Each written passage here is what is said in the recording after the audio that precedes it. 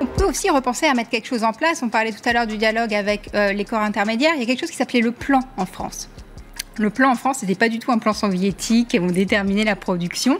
C'était un endroit où il y avait un dialogue permanent entre le patronat, les syndicats, etc. Et ça, faut absolument qu'on le recrée en France parce qu'on n'a pas une tradition de dialogue social.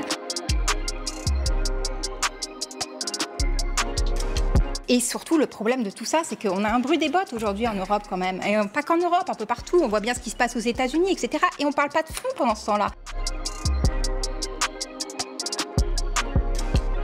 Euh, on peut donner un prix à la nature parfois quand on veut mettre par exemple en place des taxes, ce genre de choses.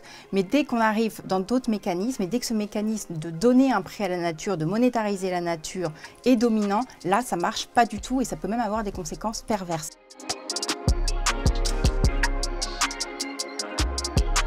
Au niveau européen, on doit mettre en place une stratégie bas carbone, isolation, euh, eau, euh, transition énergétique renouvelable, transport en commun.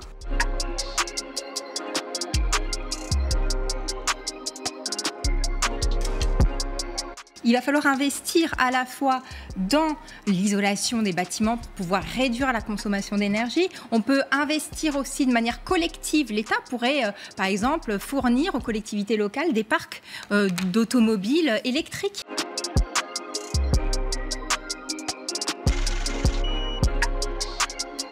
Quand on n'aura rien fait contre le dérèglement climatique, je vais dire quoi à ma fille Sérieusement? Je vais lui dire, bah, tu sais, l'élection européenne, c'est un peu spécial quand même. On se compte. C'est le moment où les partis peuvent, peuvent exister ou réexister. Je vais lui dire ça, sérieusement, ma fille. On va leur dire ça, sérieusement, à nos enfants.